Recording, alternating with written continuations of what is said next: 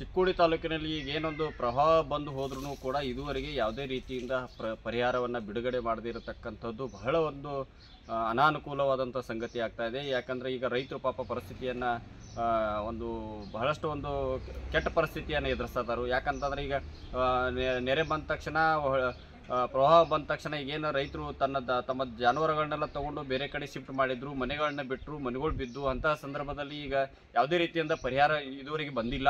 So ನಾವು ಒಂದೇ ಒಂದು ಒತ್ತಾಯ ಮಾಡೋದು ಏನಪ್ಪ ಅಂತಂದ್ರೆ ತಕ್ಷಣವೇ ಸರ್ಕಾರ ಇದ್ರ ಬಗ್ಗೆ ಎಚ್ಚೆತ್ಕೊಂಡ ಪರಿಹಾರವನ್ನು ಒದಗಿಸ್ಬೇಕಂತಂದ ಸರ್ಕಾರಕ್ಕೆ ಒಂದು ಒತ್ತಾಯವನ್ನು ಮಾಡ್ತೀವಿ. ಚಿಕ್ಕೋಡಿ ತಾಲೂಕಿನಲ್ಲಿ ಈಗ ಏನೊಂದು ಪ್ರವಾಹ ಬಂದು ಹೋದ್ರೂ ಕೂಡ ಇದುವರೆಗೆ ಯಾವುದೇ ರೀತಿಯಿಂದ ಪ್ರ, ಪರಿಹಾರವನ್ನು ಬಿಡುಗಡೆ ಮಾಡದಿರತಕ್ಕಂಥದ್ದು ಬಹಳ ಒಂದು ಅನಾನುಕೂಲವಾದಂಥ ಸಂಗತಿ ಆಗ್ತಾ ಇದೆ. ಯಾಕಂದರೆ ಈಗ ರೈತರು ಪಾಪ ಪರಿಸ್ಥಿತಿಯನ್ನು ಒಂದು ಬಹಳಷ್ಟು ಒಂದು ಕೆಟ್ಟ ಪರಿಸ್ಥಿತಿಯನ್ನು ಎದುರಿಸ್ತಾರೆ ಯಾಕಂತಂದ್ರೆ ಈಗ ನೆರೆ ಬಂದ ತಕ್ಷಣ ಪ್ರವಾಹ ಬಂದ ತಕ್ಷಣ ಈಗೇನು ರೈತರು ತನ್ನ ತಮ್ಮ ಜಾನುವಾರುಗಳನ್ನೆಲ್ಲ ತಗೊಂಡು ಬೇರೆ ಕಡೆ ಶಿಫ್ಟ್ ಮಾಡಿದ್ರು, ಮನೆಗಳನ್ನ ಬಿಟ್ಟರು ಮನೆಗಳು ಬಿದ್ದು ಅಂತಹ ಸಂದರ್ಭದಲ್ಲಿ ಈಗ ಯಾವುದೇ ರೀತಿಯಿಂದ ಪರಿಹಾರ ಇದುವರೆಗೆ ಬಂದಿಲ್ಲ.